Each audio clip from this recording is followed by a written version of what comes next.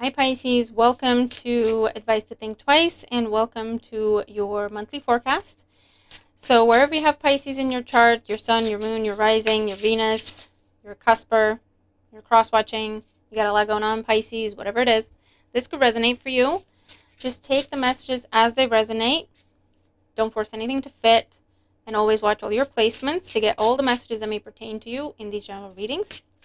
And Pisces, keep in mind that I will be closing personal readings after like mid-November. Okay, so if you're finding this video after the 15th of November, please email me and just double check if I'm still doing personal readings before you send payment because I will be closing them for a time. And if you didn't know, I have a second channel, Pisces Tarot and Advice, exclusively a Pisces channel. You got a monthly forecast over there. You got um, daily messages over there. Go check it out if you haven't already, okay? All right, Pisces, let's see what we got going on. For November 2024. Pisces. Six of Wands, okay. Didn't quite come out. Pisces in November 2024. What can Pisces placements expect in November 2024? And Pisces, remember, if you want me to keep doing these individual signs for the monthlies, please let me know. And you can do that by liking the video, sharing, commenting, subscribing if you haven't already. And thank you to everyone who's already been doing that. Really appreciate it. It gives me the feedback that I need to keep these going. We're trying a different spread here, so let me know what you think about this. I quite enjoy it, to be honest with you. And I find it quite, it's been quite helpful and quite insightful. All right. At the bottom of the deck, we have what you don't see coming, and we'll see in a minute what you don't see coming. And your oracle advice for Pisces. Oracle advice for Pisces for November. That's staying in my hand, so we'll take it. All right. Cool. So let's see what's going to have the biggest impact or influence on you in the month of November. Let me just get a sip of water.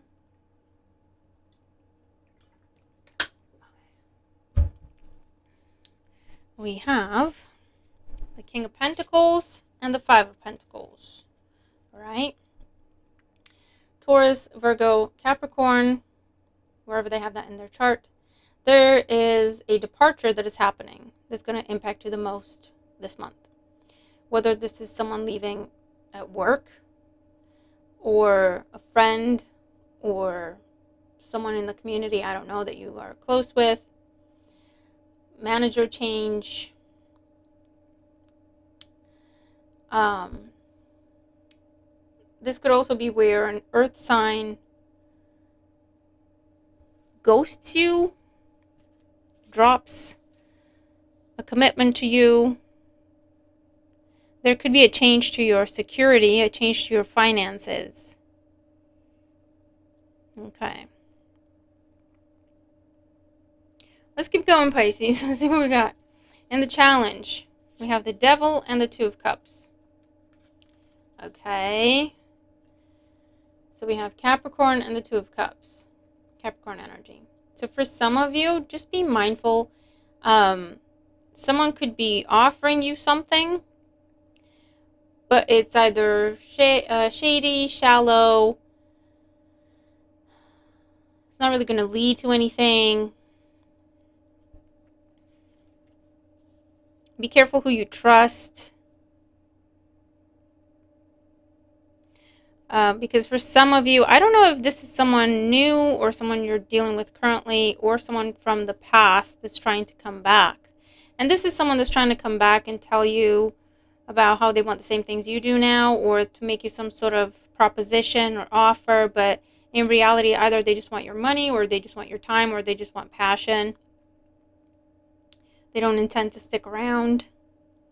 You shouldn't trust this per person. All right, let's keep going. And the advice, we have justice and the world. Yeah, look at it. And this is the advice is to not allow a cycle to repeat itself. You already know. You've already learned. You already got the lesson. Your advice is to let something end, get closure from it, cut it out. to make a final decision on something that's just been going around in circles.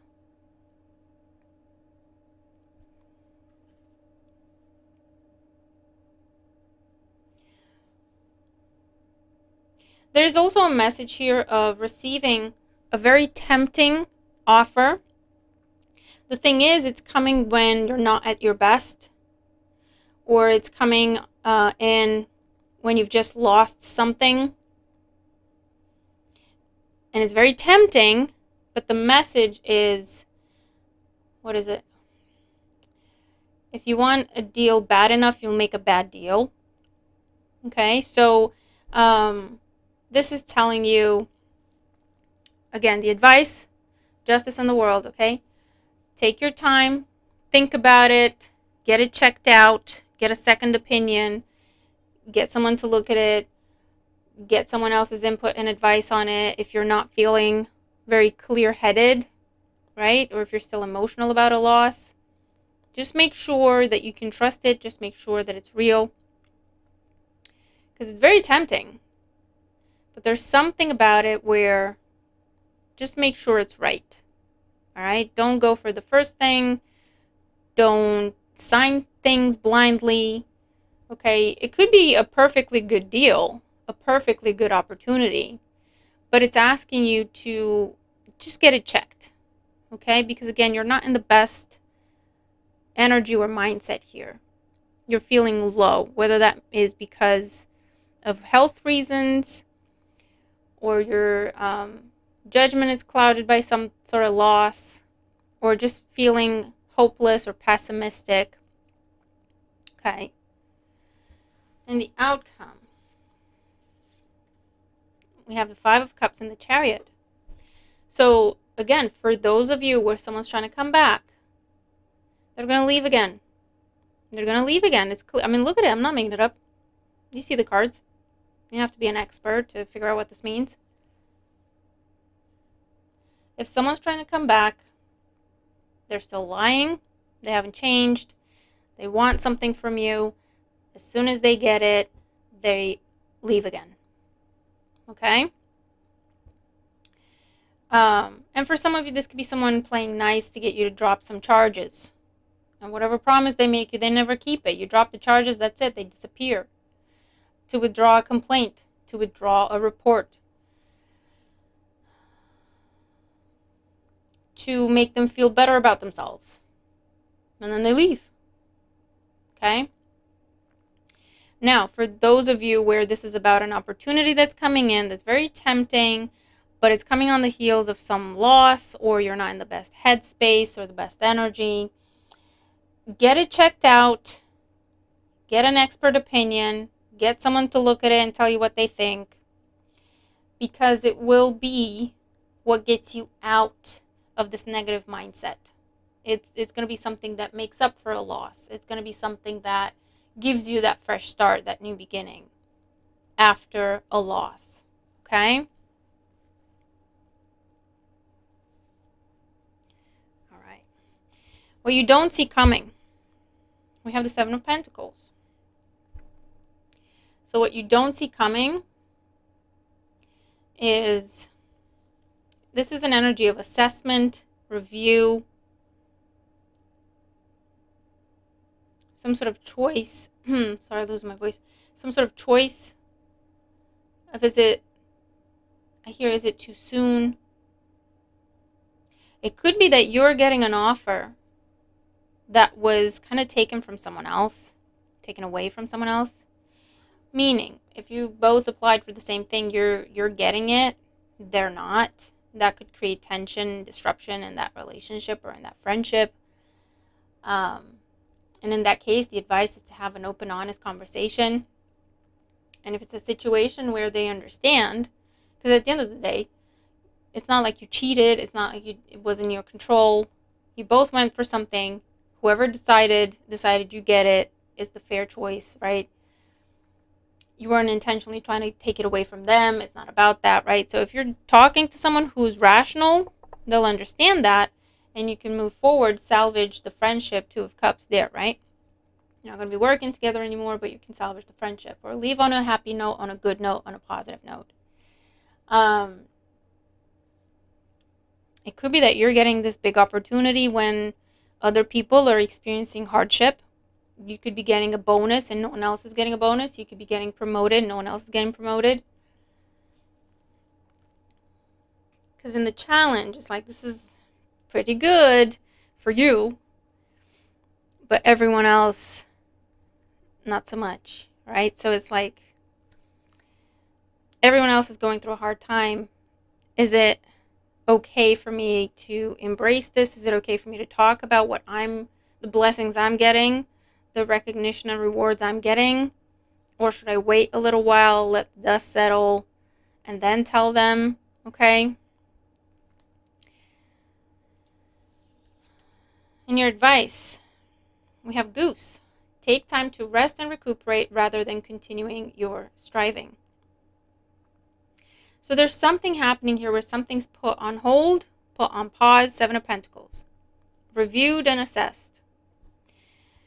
If that leads to a loss for you, there's an offer, an opportunity, an alternative. Go ahead and get it reviewed and you might be kind of reluctantly accepting it because it's like I don't really have time to be upset about what happened over here because I got to keep it moving because this opportunity is not going to be on the table forever. So, okay, yeah, I'll assess it, review it, and I'll go for it. But there's something that doesn't sit right with you with how everything happened. But with the Justice card and the World card here, this is something that's meant to happen and it's something that ultimately will be in your favor. You will see that when you look back, not as you're going through it, though. Okay. Um, or it's a case of, yeah, you somehow benefiting when everyone else is experiencing hardship or misfortune.